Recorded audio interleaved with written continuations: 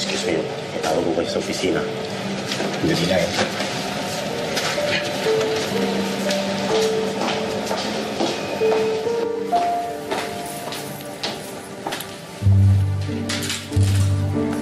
Agata, ayos ka lang? Erika, natakasan mo na yung mga tsaka na goons kanina. Kung tutuusin, pwede ka nang tumakbo. Pero, binalikan mo ko tinulungan. Bakit? Dahil nanganib ka. Sinaktan ka nila. Hindi kita kayang iwan. Talaga lang ah. Eh, iniwan mo nga ako dun sa nasusunog na paraiso eh. Masama pa din pala yung loob mo sa akin dahil dun. Me? Of course not. Sinasabi ko lang sa'yo. Agata, nakita ko kasi nun si Jolo. Inuna ko lang iligtas yung anak ko pero babalikan talaga kita. Pero ganun pa man gusto kong humingi ng tawad. Alam mo kahit madalas tayo mag-away, hindi hindi ko gustuhin na may mangyaring masama sa'yo. Dahil kapatid kita, kakambal. Isa yung pinanggalingan natin. Isang dugo, isang pamilya.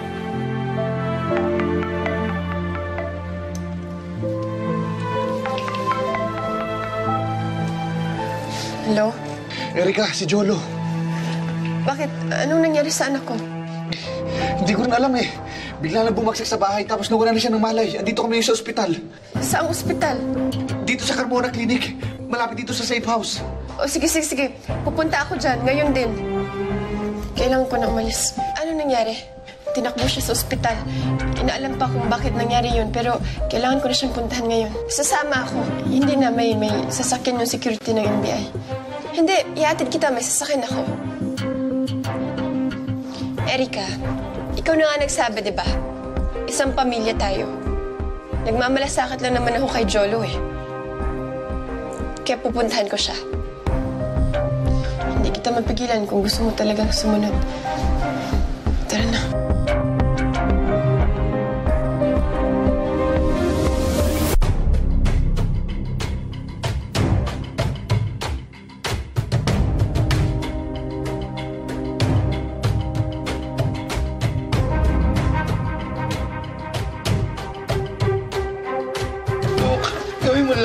Ano nangyari kay Ay, Jolo? Erika, Erika! Ano nangyari sa anak ko? Dito na si Mama na. Ano pong nangyari?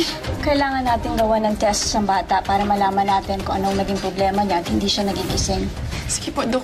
Gaw- gawin niyo yung kailangan niyong gawin na iligtas niyo yung buhay ng anak ko. Dok, ano sa tingin yung problema? Dok, maraming tataka sa buhay ng batang yan. Hindi kaya... Hindi kaya nalason siya? Lason? Wala namang symptoms of poisoning, pero we're waiting for the results na ginawa namin sa initial tests sa bata for the initial diagnosis. Sige, Dok. Gawin, gawin niyo po lahat. Salamat. Excuse me. Dam. Andito lang si Mama, ha? Oo. Ginoo